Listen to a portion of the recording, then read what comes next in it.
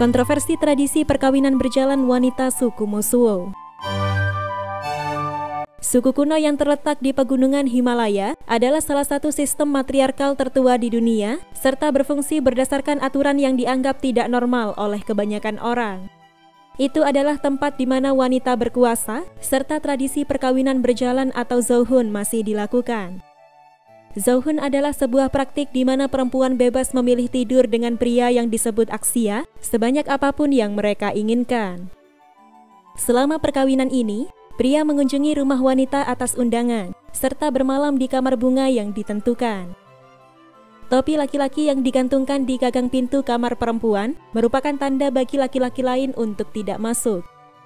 Aksia akan menyelesaikan perkawinan itu serta kembali ke rumah mereka sendiri saat fajar. Praktik Zauhun berkisar dari one night stand hingga pertemuan rutin yang menjadi kemitraan eksklusif seumur hidup dan mungkin atau tidak mungkin berakhir dengan kehamilan. Terlepas dari hubungan intim yang pasangan itu lakukan, mereka tidak akan pernah hidup bersama serta tidak ada ikatan pernikahan. Dengan tidak adanya pernikahan sebagai tujuan, satu-satunya alasan bagi pria dan wanita untuk memiliki suatu hubungan adalah untuk cinta atau kenikmatan kebersamaan satu sama lain.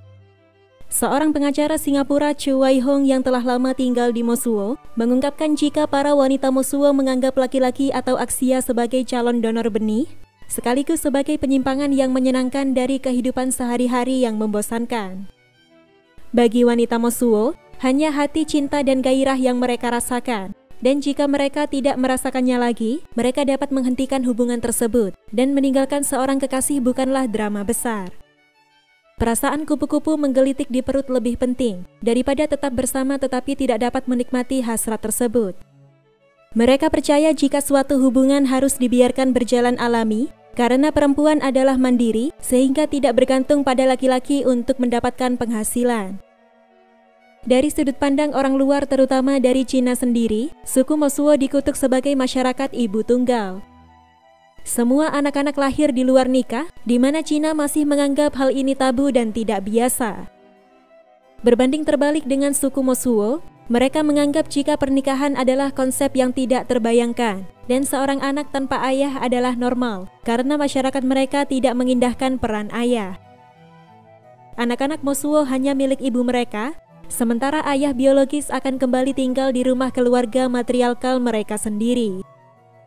Wanita Mosuo bahkan terkadang tidak tahu siapa ayah dari anak-anak mereka karena para wanita ini bisa berkawin dengan beberapa pria berbeda dalam waktu dekat dan tindakan ini bebas dari penghakiman.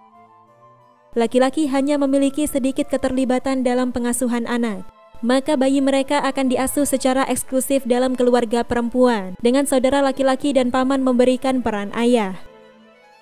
Dunia feminis yang disebut kerajaan wanita ini berada di lembah subur Yunan, Cina Barat Daya, di kaki bukit timur Himalaya. Komunitas suku kuno Buddha Tibet ini menggunakan istilah matriarkal, yakni perempuan memegang kekuasaan utama, mendominasi kepemimpinan politik, otoritas moral, hak istimewa sosial, serta kontrol properti dengan mengesampingkan hak laki-laki.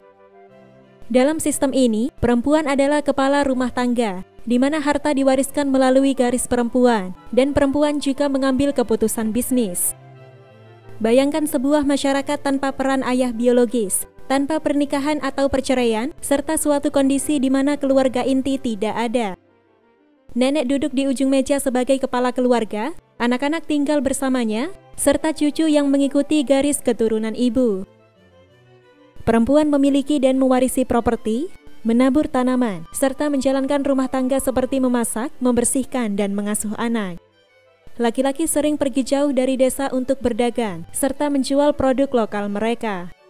Laki-laki juga memberikan kekuatan, membajak, membangun rumah, serta membantu keputusan besar keluarga, meskipun keputusan akhir selalu ada pada wanita tertua atau nenek. Meskipun laki-laki tidak memiliki tanggung jawab sebagai ayah, mereka memiliki tanggung jawab besar sebagai paman bagi anak-anak saudara perempuan mereka. Faktanya, bersama dengan paman buyut dari pihak ibu yang sering kali menjadi penanggung jawab kedua rumah tangga, paman yang lebih muda adalah pengaruh laki-laki yang sangat penting pada anak-anak. Sebuah pertanyaan muncul tentang apa yang terjadi jika seorang wanita tidak menginginkan anak, di mana Wai Hong menjawab jika itu bukan salah satu dari pilihan mereka dan bahkan menanyakan pertanyaan itu dianggap tidak relevan. Jika seorang wanita Mosuo tidak dapat memiliki anak atau hanya menghasilkan anak laki-laki saja, maka mereka secara formal akan mengadopsi seorang anak baik dari keluarga Mosuo lain atau yang lebih umum dari salah satu sepupu ibu mereka. Beberapa generasi lalu, sebelum kebijakan satu anak di Cina atau dua anak di pedesaan diterapkan, Suku Mosuo menghasilkan anggota keluarga yang sangat besar dan ada banyak sepupu di sekitar mereka. Tetapi banyak hal berubah sejak banyak turis berdatangan pada awal 1900-an, membawa jalan beraspal, bandara, serta pekerjaan bagi orang Mosuo.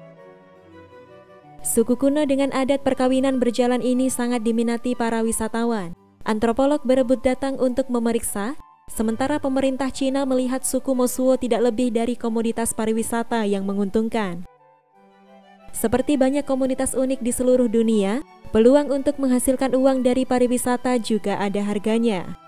Dengan membuka budaya mereka kepada pengunjung, lambat laun adat perkawinan berjalan suku Mosuo kian terkikis.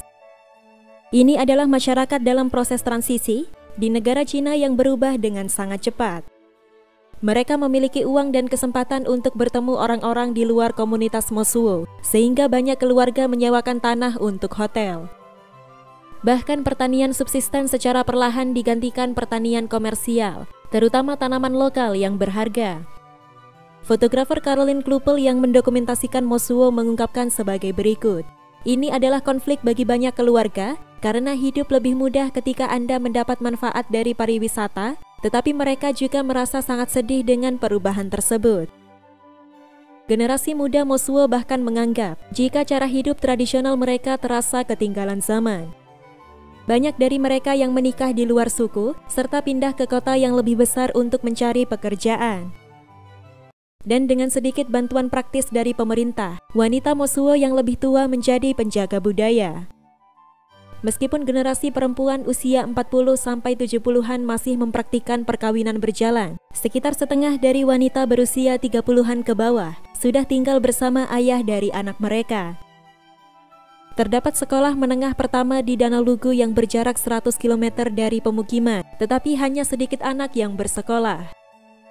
Secara lebih lanjut, Caroline Klupel mengungkapkan sebagai berikut. Gambar saya lebih dari sekedar dokumentasi tetapi mengungkapkan kekuatan abadi para wanita Mosuo yang tidak tergoyahkan, seperti pegunungan Himalaya yang mereka sebut rumah. Wanita yang lebih tua cukup hadir dalam kehidupan desa, memberikan semua perintah kepada anggota keluarga, di mana ia bekerja paling keras. Suatu ketika saya melihat seorang wanita berusia 80 tahun tengah membawa barang-barang yang tidak bisa saya bawa sendiri, karena mereka memiliki tubuh yang tegang dengan kekuatan. Saya menyadari jika kekuatan fisik sangat bergantung pada apa yang Anda lakukan dengan tubuh Anda, di mana dalam kasus ini, wanita Mosuo memiliki kekuatan lebih daripada pria. Secara historis, Mosuo hidup dalam sistem feodal di mana populasi petani yang lebih besar dikendalikan oleh bangsawan kecil.